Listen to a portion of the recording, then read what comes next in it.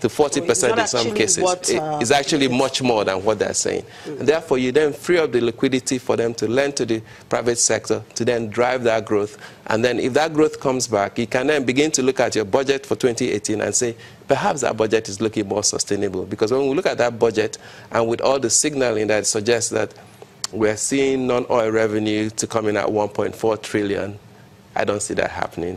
2017 half-year number, they're scratching 350 billion naira. That means full year numbers, they'll be at 700. You know, that means that they're going to struggle because, again, the private sector is not doing much. There's not enough tax revenue for them to actually get those receipts. And you see, it's the linkage. I think there's better collaboration now between the fiscal authorities and the monetary authorities, but they also have to drill down and see the impact of that on the real economy. And that's where I would differ slightly from um, Dr. Dedipe.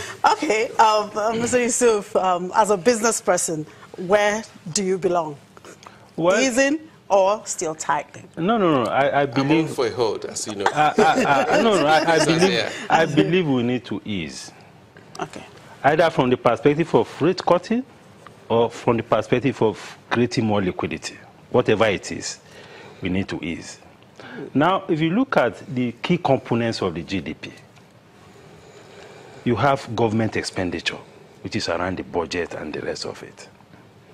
You have investment expenditure, which is about investment that we are talking about. We have consumption and we have exports. You know, those are the four key things. Now, for us to actually move this economy, what is most critical is the generation of private sector capital even within the concept of the ERG, ERGP, Economic Recovery and Growth Plan. It's supposed to be driven almost 70% by private sector investment. That is the way to go. I mean, the budget as a percentage of GDP is just about 8%. In other, other jurisdictions, it could be as high as 20%, 30%. So all this talk about government expenditure and budget cannot make much impact as most people expect. What can make the impact is private sector investment. And that is why I don't quite agree with the position of uh, Professor Moghalu that monetary policy can also be proactive. Because we are talking about revamping this economy. It can be proactive because you need policies, a mix of policies to put things on the table. You need tax policy to be part of it. You need monetary policy to be part of it. You need your trade policy to be part of it. You need your investment policy to be part of it. You need a basket of policy to move this economy forward. So, the, the, the monetary policy thing, in terms of easing, and I think we should be looking more towards easing, and we should reduce the phobia for inflation. Because what I see is that there is so much phobia that there will be inflation, there will be threat to FX and so on. No. More investment can also increase output. More output can bring down inflation. That's another logical way of looking at it. And I don't quite, I'm not also too comfortable even with the current foreign exchange regime. Yeah. 305 to 360, is still, the margin is still high. It still creates room for distortions and even possible abuse.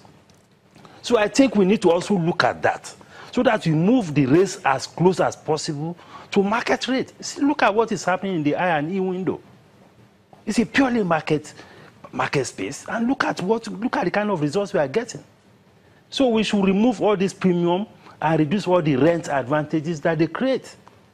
Because as it is, the multiple rates are also creating distortions and some, some, some, some form of abuse in the system, even though the situation lo looks very calm. But there are still some other currents of abuse that is going on because of the multiplicity of rates. so we need to deal with it. We are not where we are before, I but I think I there's an improvement. Mr. Chike trying to, you know, respond to what you have just said. You see, the, the government obviously has to balance, you know, macro issues, fiscal issues, but there's political considerations. And when you go to that 305 rate, mm. you're touching on a very delicate subject, that's the price of gasoline. Mm. Because that 305 rate is pegged there because of the current price of PMS in the, in the market. If they change it to 360, then what happens is that it drives up everything, and then you come back to the issue of you know the spill-on effect into the system and inflation. But indeed, the numbers actually works back into the budget because there's a line item in the budget called others. And the government effectively makes their own spread. Let's just say everybody's enjoying the margin. But the government does book the spread between the 360 which is the effective I&E window rate, and the 305 in the budget. And for 2018, they're looking at something like almost 2 trillion naira. You know, year to date in 2017, they've done over about, over about a trillion. So the numbers are, it's coming in there and it's being used. We're all enjoying it in subsidizing the oil price environment. Now, clearly, that's not a sustainable arrangement. At some point, we have to talk about this elephant in the room and kick it out. And that means reform the oil and gas sector and deregulate prices and come to an environment where you get much more efficiency and then you free up government resources to do what it really should be doing, which is investing in the needed infrastructure we need for growth and then allowing, obviously that reform would attract more foreign exchange into uh, foreign direct investment. Exactly. Now, the billions of dollars coming to the market today are all foreign portfolio investment, sure. and they can just fly it in a heartbeat we need to do more reform to attract FDI, and that helps to support your thesis that is the private sector that can drive the economy, and then we'll get to the promised land. Now, if I may ask, perhaps I'll throw that question to um, Dr. Adedipe. Are you comfortable with the constant intervention of the central bank into the market?